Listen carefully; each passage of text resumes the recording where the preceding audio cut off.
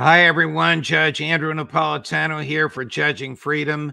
Today is Wednesday, February 21st, 2024. Ryan Dawson joins us now, all the way from Japan. Don't let his age fool you. Don't let that young face fool you. Uh-huh. Ryan is a historian and author and a political activist. Many of you may know of his work. Ryan, it's a pleasure. Welcome to the show. Thank you for joining us. Thanks for having me. I, I'm older than I look. Oh, okay. I want to talk to you, uh, at least initially, uh, about Israel and the slaughter that's going on uh, in Gaza. And I know you have opined on this uh, extensively. Uh, it, it, appears to me as though no internal force within Israel uh, is going to stop this slaughter, and it will take an external force to do so. What will that external force be? Surely not the Biden administration. It's not going to be the Biden administration. And unfortunately, there's nobody really domestically within Israel that is going to be able to replace Netanyahu and do anything differently. Majority of the population, due to the media in Israel, is sold on slaughtering Gaza, on ethnic cleansing. The whole reason they're in a concentration camp to begin with is from the Nakba and pushing people there. You have to understand these people had to break out of a, a prison, a wall. They were walled in, over 2 million people walled in with machine guns pointed at them. That's what they broke out of on October 7th.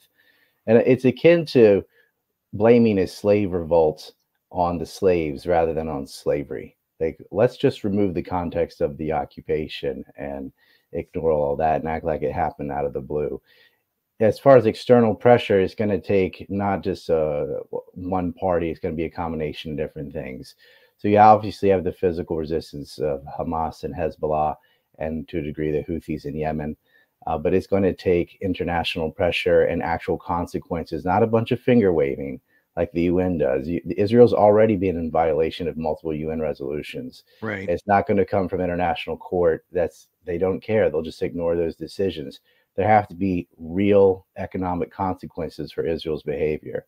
And well, the economic the economic consequences uh, are the direct result of Israel's behavior and may very well come from the following places. Uh, all of the uh, young people formerly happily employed and, and economically prosperous that are now in the IDF uh, all the Palestinians that used to work in Israel now, none of them do. Uh, the Red Sea being uh, used by um, uh, various groups in Yemen, not to kill Americans, but to prevent supplies from getting to uh, Israel. I mean, that's got to have an economic effect on Israel, which Prime Minister Netanyahu and candidly, the the the thugs in his uh, war cabinet will feel the pressure from. In addition to all of that, you also have a lot of Israelis who have left because a lot of these people are right. from Europe or America or somewhere else in the first place. You know, some of them will claim God gave them someone else's house. They're not originally from there, and so during the war, a lot of them leave, and some of them aren't coming back. I don't see a lot of them in, from Ashkelon, especially, or other places adjacent to Gaza. They're not coming back to Israel. Those people are gone for good. And Israel's going to have a very hard time attracting tourists or people to, to come back and live in Israel. And it's important to the psychopaths in that government that they maintain a specific demographic majority for their group over everyone else. But they're leaving in droves. You know, um, when this first started and it became apparent that the argument that Israel can defend itself was nonsense, it was a pretext for genocide and ethnic cleansing. Uh, a lot of Israelis and a lot of Americans, perhaps you and I among them, were hoping that President or Prime Minister Netanyahu uh, would be removed from office, and once he's removed from office, he may lose his liberty or his or his life. But here's a clip from the person who will probably replace him, whose attitude on this is the same as Netanyahu. It's not the same on other Israel domestic issues like the judiciary that he tried to bring under his thumb, but it's uh, the same on this. Here's uh, Benny Gantz, who I once thought uh, might be an appropriate person to replace Netanyahu. Listen to him, Ryan. What you're going to hear sounds like uh, Netanyahu wrote it. The world must know, and Hamas leaders must know, if by Ramadan hostages are not home, the fighting will continue everywhere to include Rafah area. We will do so in coordinated manner, facilitating the evacuation of civilians in dialogue with American and Egyptian partners and minim to minimize the civilian casualties as much as possible. To minimize civilian ca civilian casualties as much as possible. No one, except the most naive or collaborators in his lies, can believe that. Yeah, they're attacking Rafah. They they keep telling people, "We'll just go to Khan Yunis." Oh, we'll just go to Rafah, and they bomb the places they tell them that will be safe. If bombing apartments is considered self-defense, I'd like to know what is offense. I'd also like to know, and you can put this to Jack Devine or any other Zionist shill. Is there anything, any action that Israel could take that would be considered a war crime? exactly what would they have to do for us to consider it a war crime? Because they already have snipers shooting kids, they already blow up hospitals, mosques, churches, kindergartens, you name it, cut the power off, collective, you know, famine, starvation, turning off the water, letting babies freeze to death in an incubator. What would they have to do for it to be a war crime? That's a great question, and I don't know how they would answer it. They may they'll they'll give you their standard argument that the Hamas fighters are hiding in hospitals and schools and mosques, and we have the right to destroy those buildings, and everything else is collateral damage. It's not collateral damages. We uh, damage at all, Ryan. We um, did a piece uh, recently, which was brought to us by my dear friend Scott uh, Ritter, uh, about a four-year-old girl in her family's car. Everybody else in the car uh, is dead. A 15 year old cousin puts her in touch with the Red Crescent, and she's begging the Red Crescent to come and save her. And they say, We're coming, we're coming. The Red Crescent comes. The IDF motions the Red Crescent over. The two Red Crescent uh, drivers get out of the ambulance. They're killed. The girl is killed. It's uh, it's utterly reprehensible. Uh, it is a it is a Holocaust like uh, event for which there is no legal or moral defense or justification. Did you get a chance to watch any of the uh, presentations made to the International Court of Justice? I did, and it is you know it is a Holocaust-like event, and the president of Brazil got in trouble for making that comparison. They called him a Holocaust denier, and he wasn't doing that at all. He was reaffirming. He says, "Yes, it, it is like that. You're like that. You're acting like Hitler. You're collectively killing civilians in a concentration camp. And that girl, by the way, the reason her family was in their car was to try to go get food because they've cut it off to everyone. And I think she was six years old, maybe she was four, but she was just pleading, crying, "It's getting dark. Help me!" in the in the tank. They they shot her. They knew this is a civilian. This is a civilian car full of civilians. They just went in and murdered her anyway. And there's so many things like that. I, yes, I have seen the International Court of Justice. Uh, I don't put a lot of stock into it. I agree with Doug Macgregor on this that the U.S. and Israel will just ignore them. Right. I thought the arguments, the arguments made by South Africa, and subsequently by the Palestinian uh, representatives, were fabulous. Oh, they're uh, excellent because uh, the Israelis but, have no shame. They sit there right. and say the most ridiculous thing. They call them animals and so on. Herzog that is no different than Netanyahu, and you can go down every minister, and right. it's the it's the craziest things you've ever heard. I can't believe this is you know in this century that people can talk like this. The um, the head of the Israeli uh, internal security, I guess the rough equivalent of the director of the FBI, this uh, madman uh, Ben Gvir, hmm. um, actually said that um, Palestinian women and children who in Gaza get too close to the border to Israel should have bullets put in their heads, and I will direct the Israeli police to do so. As far as I know, no no no one has uh, contradicted uh, contradicted that direction. You well, um, they, they did that in 2018 during the March for Peace. They would shoot snipers would sit there and shoot kids, unarmed people, women, men, didn't matter, and the media there was just no coverage of it. You are um, we were kidding about your youthful face before we went on air, but you are a generation or two younger than I am, younger than uh, most of the guests that I uh, have on. Uh, what do young people feel about this, whether they're Republicans or Democrats, liberals, conservatives, progressives, or libertarians, atheists or agnostics, white or black? What, what does the generation of 25 or 30 years old and younger think about this slaughter and Joe Biden's enabling of it?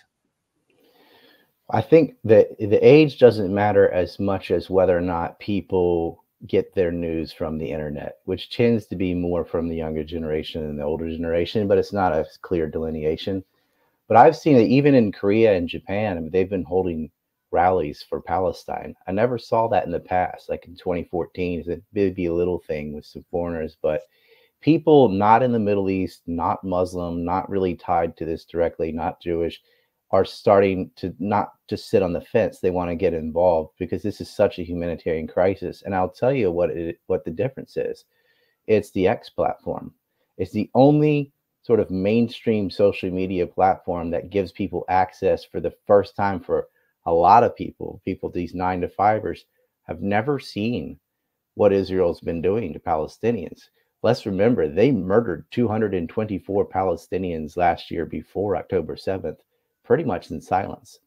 Now they're seeing the video, they're seeing people pull bodies out of the rubble, they're seeing the devastation, and they're able to see it because of Twitter or X. Right. They're like you well, can't, see, you can't see it on YouTube. They, I, have, say, I hope they're able to see it because of judging freedom on YouTube as well. We have a huge audience, as you know, an, an enormous audience. I'm deeply grateful my own background, as you know, is as a lawyer, a judge, a professor of law, constitutional uh, scholar. I didn't think I'd be uh, in the midst of uh, foreign policy disputes, but judging freedom is almost exclusively foreign mm-hmm. policy, and lately it's been on this and on on Ukraine. Do young people understand that the problems in Ukraine began with the American orchestrated coup in 2014? I think a lot of them do. Uh, I think a lot of them they don't know the details the way you and I know them, but they understand. But wasn't there a coup d'état? Didn't they go to war at Donbass and murder thirteen to fourteen thousand people in 2014 and 15? They understand that they don't start the story in the middle, as Thomas Sowell likes to say. You can't just start with when Russia invades. Donbass is trying to declare independence. They, you know, Ukraine broke the Minsk Accords. They fired artillery at an elementary school. That was the way they decided to do that. And and they are the younger generation is very mistrusting of mass media. They've been lied to so much about so many things.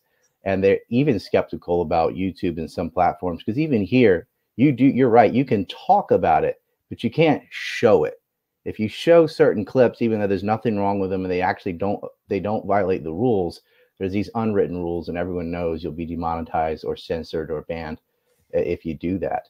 And they know that. And so they come and they see these shows and they go to Rumble and they go to Twitter, they go to Telegram, and they're getting access to the better information. But the censorship is really, this really comes down to free speech. If they weren't able to lie, they, we wouldn't have these wars. We wouldn't have these sanctions. We wouldn't have intentional starvation. None of this would go on if you took away their ability to lie. And that is how you fix it. Free speech solves all of these things. It, of, when they went to Iraq, they had to lie about WMDs. When they went to right. Syria, when you pick something, the lie com- predicates everything else. One of our um, uh, guests, one of our regular guests, is an American freelance uh, journalist uh, in Ukraine. Right now, he's in Donbass. Patrick Lancaster. I don't know if you've uh, seen him. He's I know he, he's like you. He's fearless and courageous, um, but he lives in the war zone. Uh, he called us the other day and uh, said, "I'm in Donbass. I'm in my apartment. I just heard two horrific explosions. They had to be two thousand pound bombs. Explosions that big." And then he went outside cut number two, Chris, the one you just mentioned to me, and he saw this. And these are pieces of what is purportedly part of the uh, HIMARS rockets. Now, we bring you this information from this intense attack here on the center of Donetsk because you deserve to see things from both sides of the line. Watch as much uh, sources as you can to make your own educated decisions because it's important not to be led by sh like sheep by the Western mainstream media and the people that want to tell you what to believe. Find out the information for yourself watch as much information as you can. All right, just to give you a little bit of an understanding on what the situation uh, here is and how big this rocket is itself. This is one of the two craters of these United States supplied HIMARS hitting this library in the very center of Donetsk. Okay. Was a HIMARS, which is worse because as you know, a 2,000 pound bomb is guided by gravity. HIMARS is a, is a smart bomb. It's guided by the uh, computer, which is aimed at the target. The target was a library. And the rest of that clip points out to a, a pizza parlor across the street. And another one of these HIMARS hit a crosswalk at a busy intersection.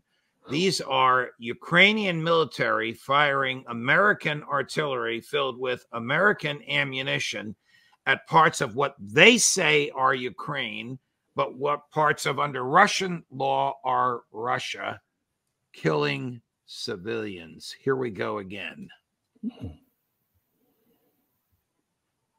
Ryan.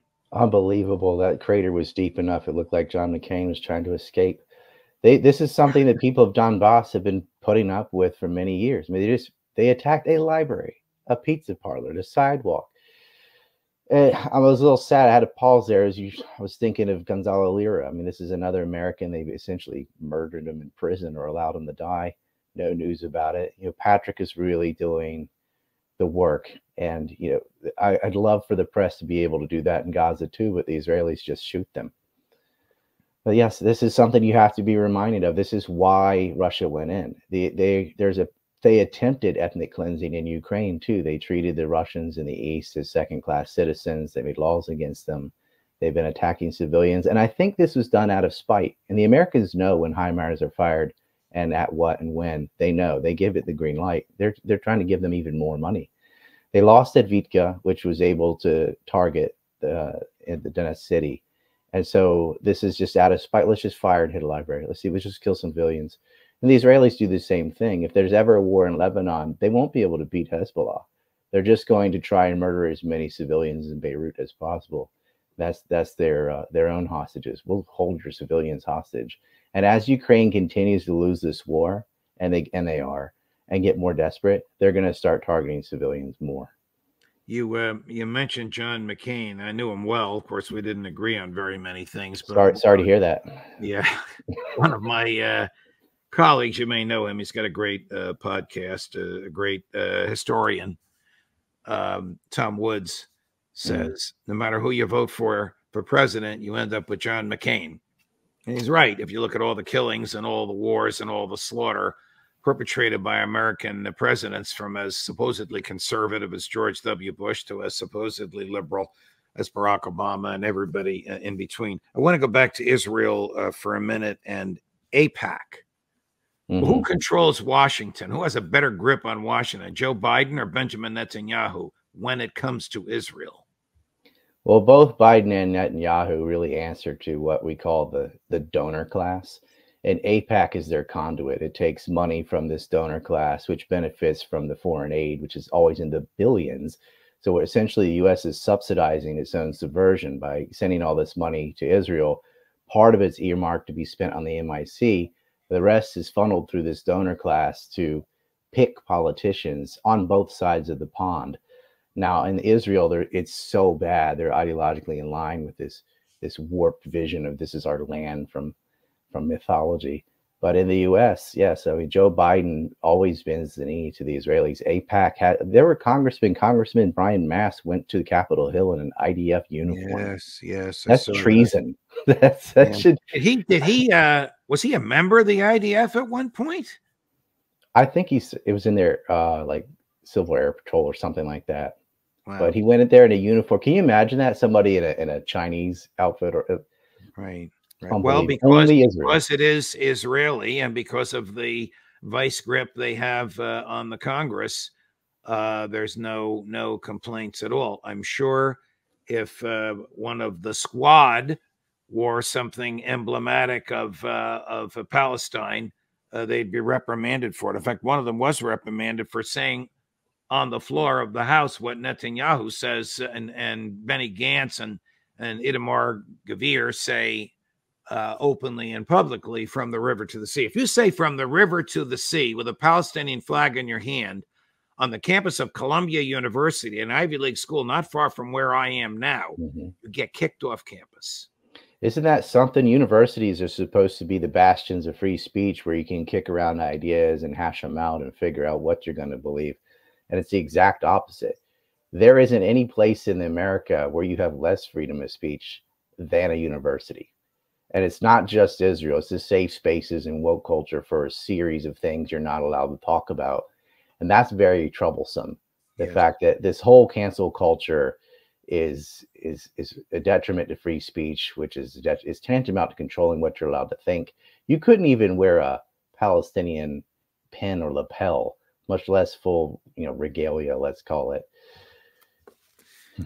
Uh, Ryan, it's a pleasure to chat with you, and, and I'm fascinated with your work and happy with your ideas. We'll do this again, uh, and we'll start with outrageous examples of uh, suppressing uh, free speech. And uh, we will post this, and hopefully, our huge audience will appreciate you as much as I have. Thank you so much. Okay, all the best. Safe travels. Uh, by the way, do you live in Japan? I did for 16 years. I live in Korea now. I'm over here getting my Korean visa, actually.